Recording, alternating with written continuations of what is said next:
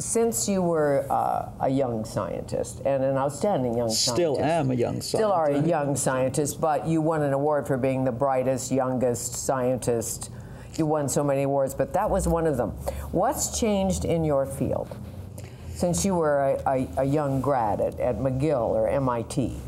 Well, you know, we have, I, I, think, you know, we're really in the golden age of brain research. We have so many more tools. You know, I talked to you about imaging. We didn't have any of that. We couldn't right. look into the brain.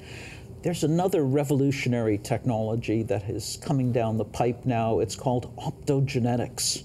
So, would you believe we can now steal genes from an algae uh, and stick it into our brains, or certainly into a mouse's brain, and then we can tickle particular classes of neurons. They will respond, once we stick that gene into uh, these neurons, that you know, we can then shine light of a particular wavelength, say orange light, and we can turn on only those neurons, and we can then make them fire. We can stimulate particular population of neurons, and we can say, what happens when just those cells become active?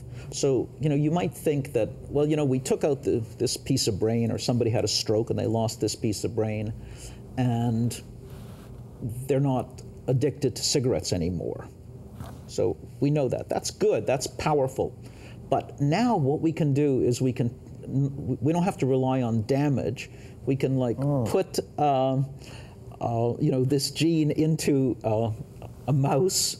We can get the mouse addicted. We can shine light on onto those cells and we can shut them down. We can either shut them down or turn them on, whichever we like. Okay, so the future of stimulating the brain is important for preventing diseases, for curing diseases, for making us smarter, for what? Yes. All of the above? All of the above. So I was talking earlier about understanding the brain as a connectome, mm. as a group of it's it's it's a little bit like Facebook, you know. so you got like 100 billion neurons in there. And every neuron has about 10,000 Facebook friends with whom they directly communicate. And the question is, who are your Facebook friends going to be? Who are you going to talk to as a neuron? And it turns out it's going to be, you know, whoever you went to high school with. Right.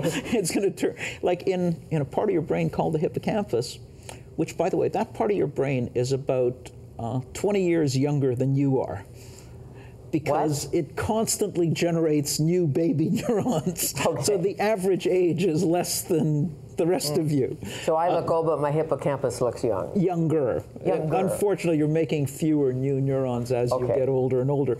But it turns out that the neurons that are born at the same time, they all go through the babbling phase together. They babble to each other. And when they babble to each other, they all become friends and they go to high school together and they become connected.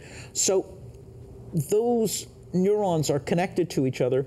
It turns out that under some, that's actually why when you learn something, those new neurons are involved in learning something. That's why, we, you know, when you think about something you learned in high school, uh, it brings back all the other things that happened in high school, all those old girlfriends and all that music. It all right, comes back right. because it's all the same group of new baby neurons that were born at the same time that have all connected to each other. Now, stimulation is a way for us to change the weights of the pathways of the connectome. So let's say you're a kid with, I don't know, make something up, dyslexia. Mm-hmm. We now know from mapping the brain and seeing where the wires are that the connection from here to there, V1 to V5, is too weak in dyslexia. Interesting. It's just not as strong as, as uh, ADHD and ADHD, schizophrenia. It looks like there's a dysfunction in the connection between the prefrontal cortex and another structure called the hippocampus. So we're learning these things. Now, okay, so great to know that these pathways are too weak. What can we actually do about it to help people? And the answer is we can exercise the pathway like you exercise a muscle. We can go let's say we it's too weak from here to there we go. Bang bang bang bang bang bang bang bang bang bang. We stimulate we make them fire together. Okay so you're a young kid and you fall off the teeter totter you're uh, an older kid and you, and you hit a rock on the ski hill and bang your head. You're a football player an nfler and you get a severe concussion. Mm-hmm. how serious? Oh it can be very serious. It can be very serious. Um, the good news is um, what I tell people is if you're going to have your brain damage, have it early, because the young brain has much more recuperative oh. capacity uh, than does the older brain, because you still haven't you know, fully allocated all your Facebook friends. Right. You still have room to, oh, well, okay, that Facebook friend has been taken out by the rock. Okay, well, mm-hmm. I can get somebody else. When you're older, it's not that easy to make new friends if you're in your. No, I understand, but they have been linking, and I, when I say they, I don't know if these are the top scientists, concussion to suicide. Oh, absolutely. So, what happens if you have, you know, these problems older in life if bad things happen? Well, uh, Yes, um, it turns out that you know brain injury is a subtle thing because first of all you don't see it. Somebody right. has a brain injury, okay, they might have a bruise on their mm-hmm. skull, they might you know get shaved, and, but then the hair grows back and oh. you don't see anything. Um, but the recovery process can be prolonged.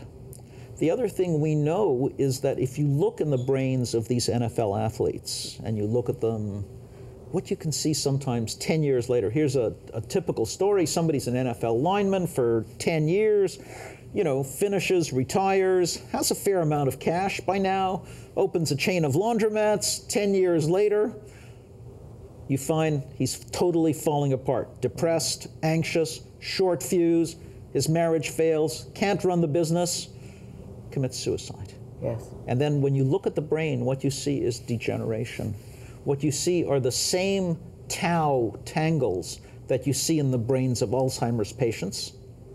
So they actually have a form of dementia, and it can manifest if parts of the brain that are involved in regulating your impulses and your emotions, it can manifest as uh, suicide, short fuse, inability to control yourself, uh, screw ups in your social relationships it's it's actually a big impact. It's it's a big, literally a big impact, mm-hmm. and the danger is that it will continue to get worse.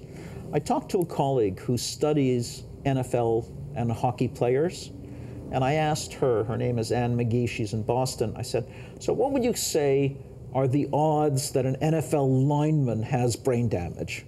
And she said, 92%. Right, unless you're the kicker. yeah, if you're the kicker, you're okay. and you might be okay. As long as you don't get sacked, I think it's being a, you know, it's, it's the repeated of course. hits. Mm-hmm. We'll take a break. Uh, Dr. Max Cynader, our guest, he's a professor of great big brain.